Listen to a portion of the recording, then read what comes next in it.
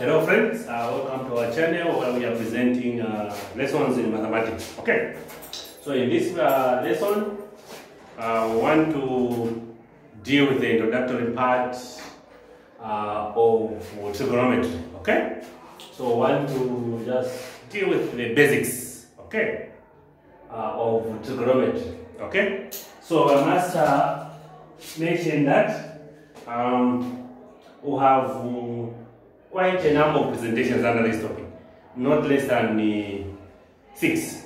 Okay, so you need to ensure that uh, you follow all those presentations for you to have a full understanding of the topic. Okay, now let's try to understand what we mean by trigonometry. I may not be able to put up the definition, but I'll explain. Now, when we talk about trigonometry, we are saying um, it's a, it is a, a branch of mathematics, okay, which mainly deals with the triangle measurement. Okay, it mainly deals with the triangle measurement. By triangle measurement, we mean under this we try to understand the sides, okay, of a triangle,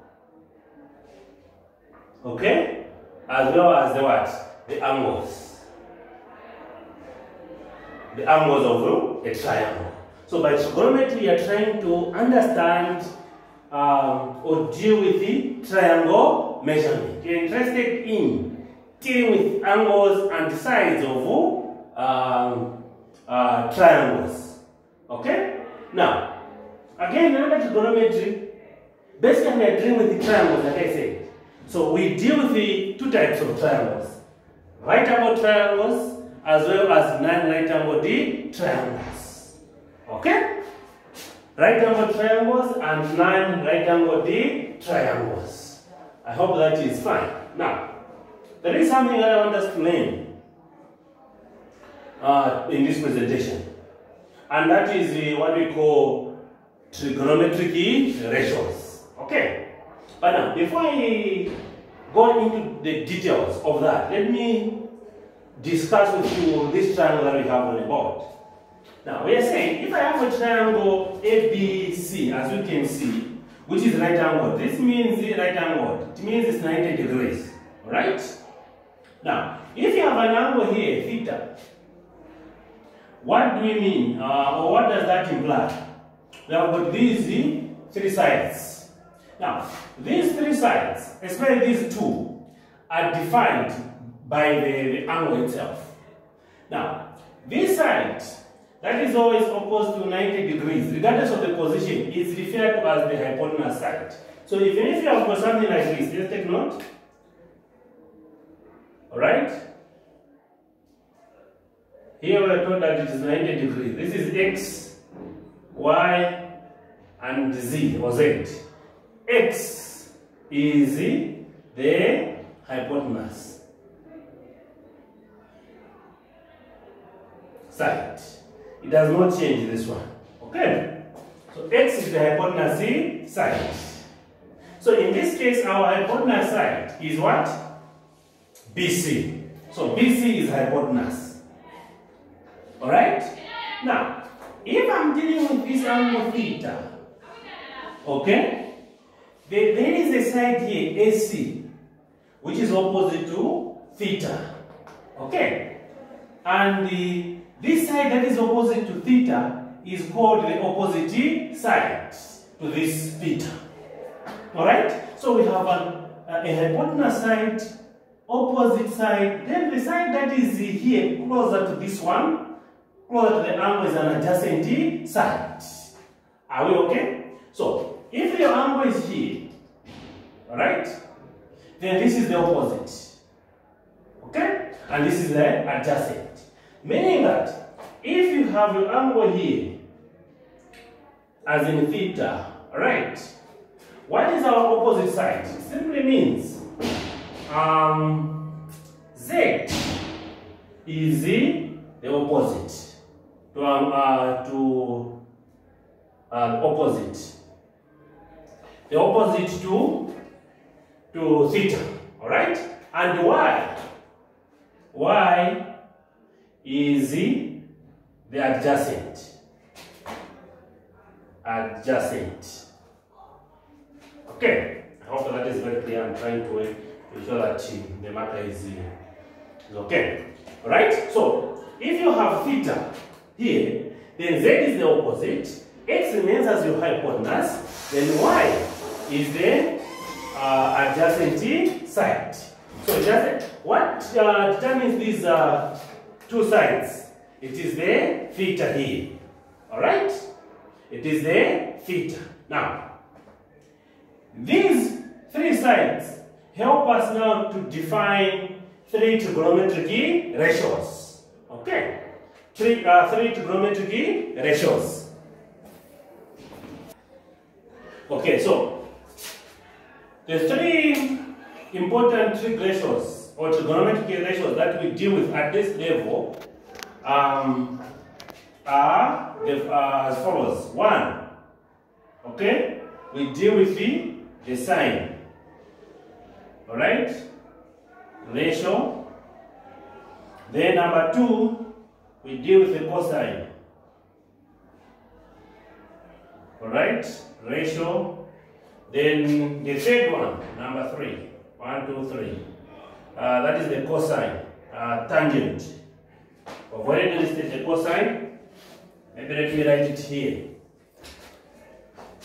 You have one, two, three. You have the tangent.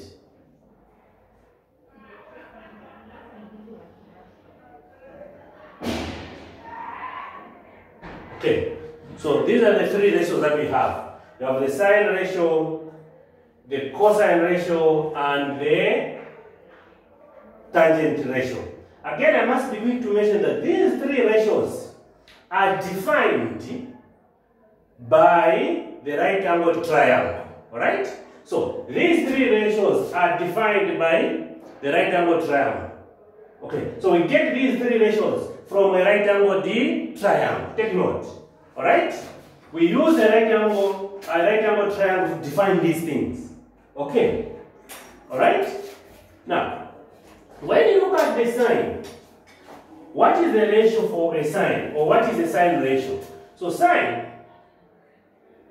alright, abbreviated by this, will be defined again by looking at the angle. So if my angle is theta, so I'll say sine theta, alright, is equal to opposite over hypotenuse. Okay, can you even write it for hypotenuse sides. Alright? Opposite over hypotenuse sides. Okay.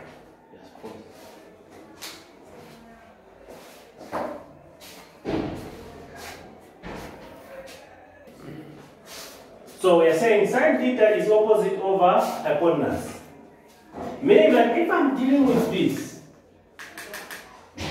so I'll say sine theta is equal to, what is the opposite side? The opposite side is this side AC. So AC divided by, what is my hypotenuse? My hypotenuse will be B. Alright? So that is how you are going to define this uh, sine theta. If you are dealing with cos or cosine, right? We just say cos is equal to um, adjacent side. You divide everything by the uh, hypotenuse.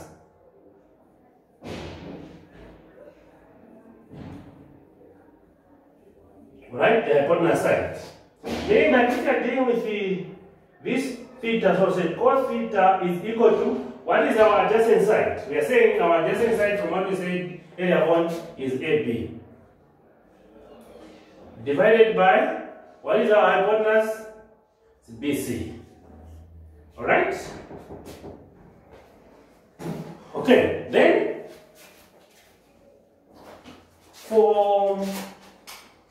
for the tangent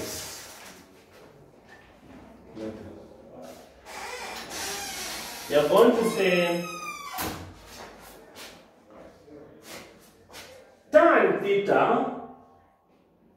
is defined by what is tangent? Opposite side divided by our adjacent side.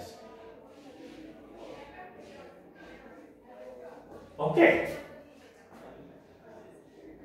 Alright? This implies that we have said that sine theta is opposite over hypotenuse. That's what we've said. Again, with this, we have said that uh, cos theta is equal to what? Adjacent over hypotenuse. Then, we have also said that tan theta is equal to what? Um, opposite uh, divided by adjacent. So these are the three trig ratios defined on a right angle D triangle. Okay. So you know that cos is opposite of hypotenuse. I mean sine, opposite of hypotenuse. Cos adjacent of hypotenuse. Tan theta is opposite over adjacent side. Okay? So that's how you're going to define this thing. Now, in order for you to sometimes, you know, it's a challenge to, to remember this or to recall. So we use an aid to, to memory, okay? We use, uh, we use an aid to memory. Right? Called the SOHCAHTOA.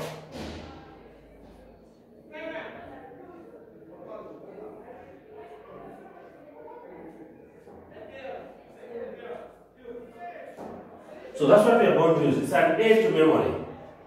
Called what? SOHCAHTOA. Alright? What does this SOHCAHTOA imply? Implies that if you're if you're looking at this part, this one, I've got three. One, two, three. These represent the three trig ratios. Sine, cosine, and the tangent.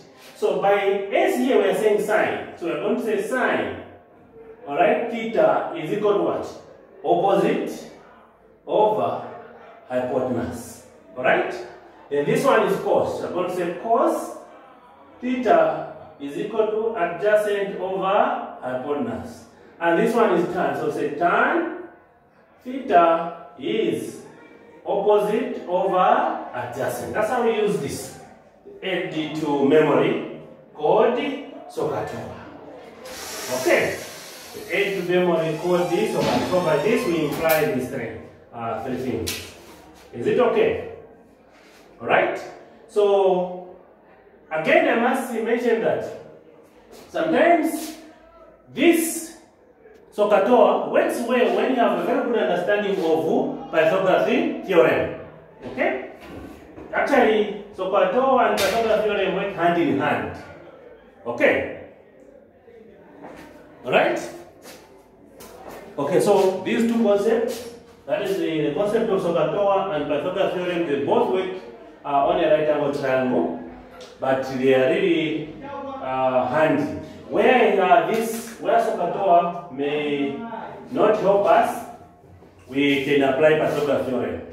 Where Pythagorean theorem may not work, we can apply SOHCAHTOA.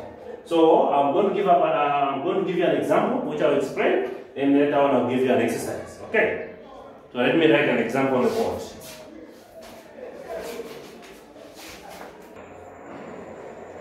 Okay, so this is our example. We're saying find the sine, cosine, and tangent ratio of angle BAC. BAC. Alright? So in this case, our angle is here. Alright? Okay, so uh,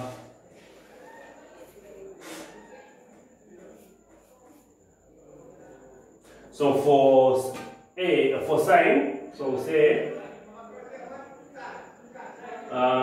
sine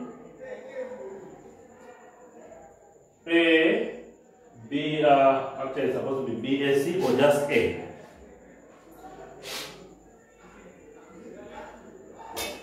The sine of B, A, C, right? Which is the A here. B, A, C. So our reference is this one, okay? So if this is our reference here, and remember we are saying sine is the opposite over hypotenuse. That's what, that's what we said earlier on. Okay? So, which is equal to what? Here, what is the opposite side? Uh, if you are dealing with this one, the opposite side is BC. BC divided by, what is our hypotenuse? AC. Okay? So, we have sine, actually I can even just do that. BAC is equal to, what is uh, BC?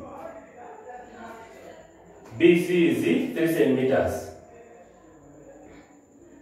Right? Divided by AC is what? 5 centimeters. Okay, so this will be 3 over 5. As a ratio, this is okay. Even without units because they'll cancel. Right? This is a ratio. Hence, we will not have units. So, we are saying sine BAC. BAC, we are saying it is the opposite divided by hypotenuse. So that's why I'm going to get that one. Then we go to cos. So we say cos, the cos of the same angle, cos B, A, C. Alright, maybe let me put this on top. What's an angle? Okay. Yeah, is equal to what is cos? We say adjacent divided by hypotenuse. Alright? Now, we say if our reference angle is A, what is our adjacent side? It is AB. Okay? So, we are saying AB divided by uh, our hypotenuse is what? AC. Okay? This means that cos of BAC is equal to, we're saying our adjacent is 8, which is 4 centimeters. Okay? So we have 4 centimeters divided by AC is 5 centimeters. 5 centimeters. I hope it's okay. And this will give us what? 4 over 5. Okay? That is how you're going to get the, the cosine ratio there. Okay? Then, to get a tangent,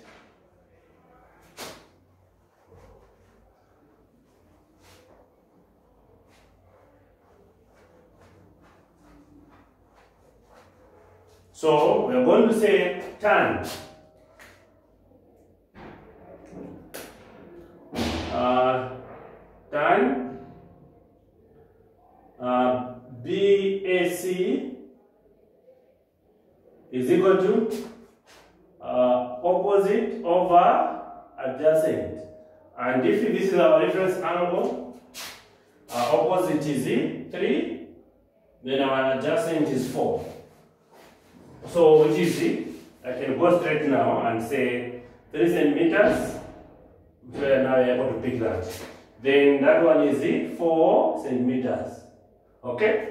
So this implies that our tan BAC is equal to, you can cancel the units here, 3 divided by what? 4. So in terms of trig ratios, that's how you're going to get them.